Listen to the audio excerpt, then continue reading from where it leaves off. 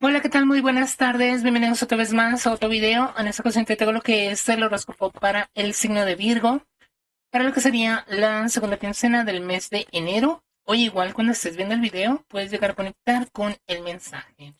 Vamos a ver Virgo, ¿qué viene para ti en este periodo, en esta quincena? Y pues qué mensaje tienen para ti las cartas. Primero que nada te deseo que estés iniciando este nuevo año con muchísimas buenas vibras, muchísimas bendiciones y que todos tus deseos se cumplan para tu bien. Vamos a ver, Virgo.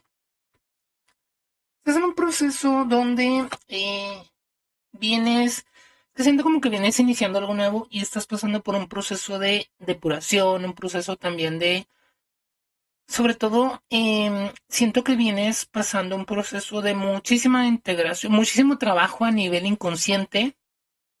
Estás trabajando, te veo como trabajando con tus emociones, con la luna sobre todo con las emociones, como que tus emociones vienen moviéndose muchísimo, como que algo hiciste, puede ser que hayas hecho un ritual, puede ser que hayas hecho terapia, todo lo que tenga que ver con la terapia emocional, eh, trabajo a lo mejor con flores de Bach también, em, trabajo con limpiezas, a lo mejor con algún tipo de baño, pero sí me habla mucho que las emociones se están moviendo, emociones sobre todo muy arraigadas, muy, uh, muy profundas, se están moviendo.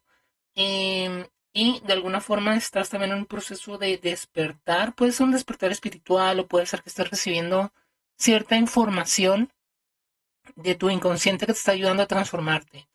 Eh, el paja de pentáculos te habla mucho de que estás eh, en un nuevo, un nuevo camino, como que tu, em, tu energía está cambiando, obviamente, estás como más conectado con la tierra, más conectado con tus guías, más conectado también con, eh, con esa parte inconsciente, ¿no? Que, que, todos tenemos. Em, siento que viene... Bueno, vamos a ver.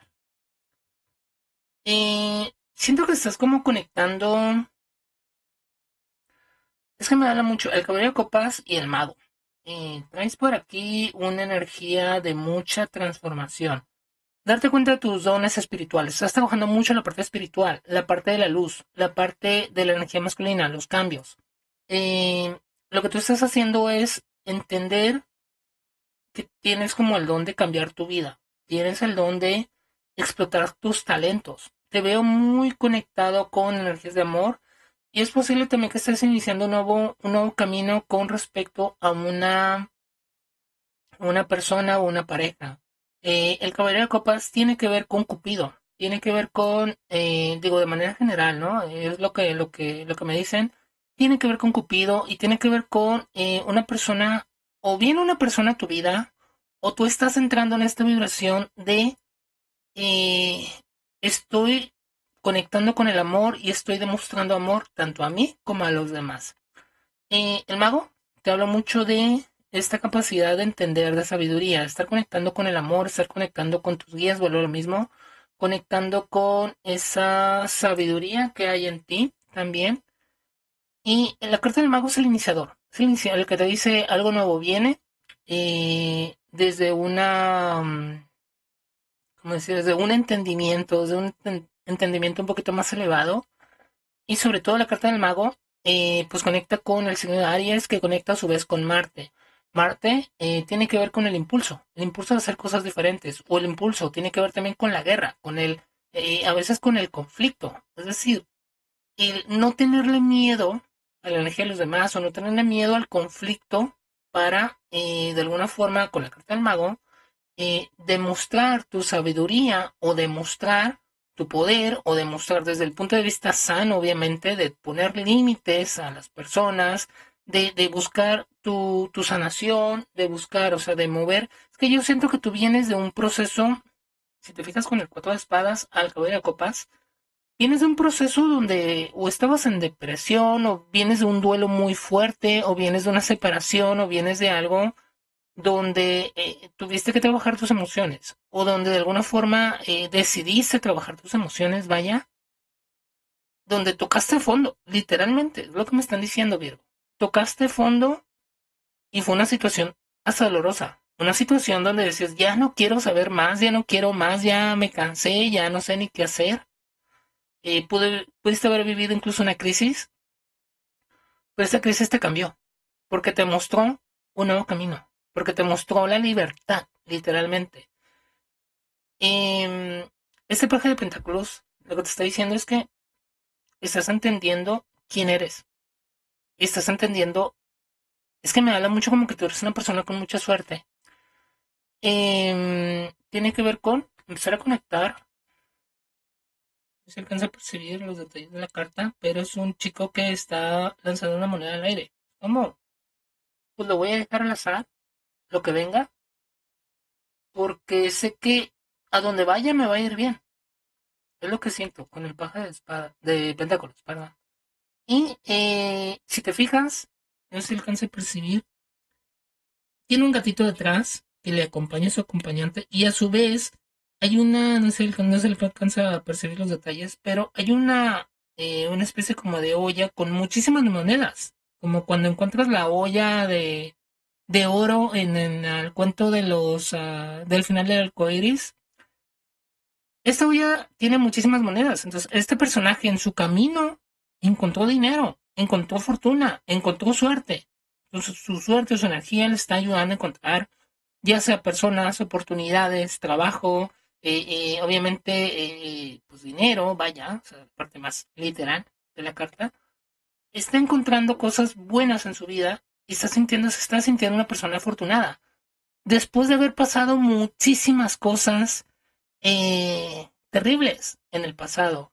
Y eso es porque has decidido transformarte. Es porque tú, quizás tu alma está lista para dar ese siguiente paso. Ese despertar espiritual. Me están diciendo, estás despertando con una energía tan fuerte, tan potente. Literalmente estás conectando con el mago. El mago es un, es un creador. El mago es una energía, obviamente es energía masculina.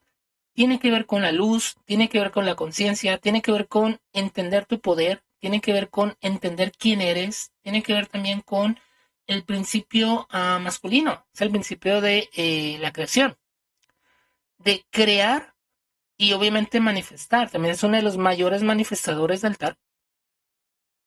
¿Por qué? Porque el mago lo que hace es que sabe manejar su conveniencia y todos los demás energías que trae el tarot. Es decir, las espadas, los bastos, eh, el oro y las copas. Es decir, las emociones, eh, las acciones, los pensamientos y materializar todo eso. O los recursos también, sabe manejar sus recursos, sus herramientas para lograr sus objetivos. Y lo que veo aquí es que tanto estás aprendiendo de todo lo que tú estás manifestando, como también te estás dando la oportunidad de aprender cosas nuevas, porque esa también es una de las habilidades del mago. El mago no lo sabe todo, el mago tiene la curiosidad de experimentar el mago es un alquimista. El mago es un personaje que va probando y a prueba y error va eh, consiguiendo muchas cosas. Va diciendo, ok, esto me sirve para esto, esto me sirve para esto otro. Y va leyendo, va investigando y va comprobando si realmente es cierto lo que va leyendo y lo que va haciendo. De ahí radica su sabiduría, aparte que estar conectado con la fuente divina. Aquí lo que me habla mucho es que tu vida se está transformando. Y el caballero de copas tiene que ver con la conexión con el amor. Porque yo siento que viene una energía muy de Aries, una energía, o conectar con energía de Aries, o que alguien viene a, a. Es una persona que le vas a parecer, me habla mucho como que tú eres una persona muy conectado o conectada a la espiritualidad eh, o al trabajo, una de estas dos, o las acciones también. Eh, y va a una persona que le va a llamar muchísimo la atención y me habla mucho personas Cáncer, Escorpio, Pisces o Aries son como los, que están marcados. Posiblemente un Escorpio por ahí se pueda colar. Digo, ya lo tenemos acá. Cáncer, Escorpio, Pisces y, el mago con Aries. Em, es una persona que le va a llamar muchísimo la atención tu conocimiento, o tu forma de pensar, o tu forma de ser, o tu forma de tu sabiduría. Y, y a lo mejor no solamente es una, porque aquí veo un montón de personas. Veo o por lo menos aquí, alguien que está en camino, alguien que viene también volando, que te están esperando. Pueden ser personas relacionadas con tu trabajo o en tu trabajo o algo con lo que has estudiado, con lo que te apasiona estudiar o algo que estás estudiando todavía. Y, si me dice, eh, eh, em, el cabello capaz tiene que ver con ese coqueteo, con ese eh, querer conectar contigo, con ese querer conectar con tu energía desde el amor. ¿Por qué? Porque son personas que te empiezan a admirar, porque son personas que ven tu, tu potencial, ven tus logros. Ven, no es tanto como tus logros en sí, sino ven la persona que eres, sí, porque eso es el mago, pero también ven tu magia. Son capaces de ver tu esencia mágica que se manifiesta. Es como si eh, esas personas tuvieran la capacidad de ver más allá del cuerpo y vieran realmente lo que eres capaz de ver, de, hacer, perdón, de ver lo que eh, eres capaz de crear, de lo que eres capaz de hacerle sentir, de lo que eres capaz de mover también en, ellos y en los demás. Son personas que de alguna forma te empiezan como a admirar o te empiezan a em, sentir cierta atracción por ti, porque no eres una persona común, no eres una persona, eres una persona que sobresale o que va a empezar a sobresalir más con su conocimiento, con su forma de ser. Em, y de alguna forma, con el caballero de copas tiene que ver con el que tú estás conectando con el amor, porque el amor te sube muchísimo la vibración y sobre todo em, te ayuda a conectar contigo, te ayuda a ser una persona más segura de ti mismo de ti misma, te ayuda a sanarte. Y obviamente las personas que vienen a tu, a tu vida o en tu camino es que me habla mucho, al menos, al menos dos, digo, yo veo, aquí son cuatro signos, pero veo una persona que viene en camino y otra persona que viene en camino en diferentes situaciones. Em, puede ser a lo mejor también que estar conectando con dos guías diferentes, puede ser también. Pero sí lo que veo es que estás, eh, es una persona que te puede ofrecer, por ejemplo, estabilidad y, cierta situación económica, o sea, que te pueda apoyar a lo mejor económicamente, o una persona que te puede ofrecer también sueños y eh, fantasías y amor. No significa que este paje de pentáculos no te traiga amor, sino que eh, a lo mejor este caballero de copas es un poquito más intenso. Pero el paje de pentáculos sí que te habla mucho de cuestiones a nivel material, el paje de pentáculos, y el caballero de copas te habla mucho de eh, situaciones a nivel emocional. Y siento que de alguna forma esta persona te va a te va a hacer sentir un poquito más que esta, pero esta te, puede estar ofreciendo eh, algo más material. Eh, salir a comer, salir a bailar, salir al cine, salir al parque.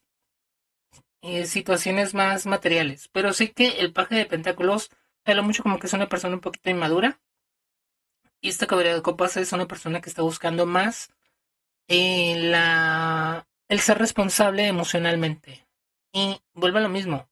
Eh, siento que de alguna forma eh, vienes a vivir una energía o una situación que no esperas que pase, pero que es como literalmente estás viviendo una nueva vida, estás iniciando un nuevo camino, estás iniciando una nueva eh, una transformación total de tu vida. Y con el cuatro de espadas, lo que te dicen es que tus sueños empiezan a cumplir. Hasta aquí el video, espero te haya gustado. Si te ha gustado, dale comparte, suscríbete y nos vemos en el siguiente video. Muchísimas bendiciones y hasta luego.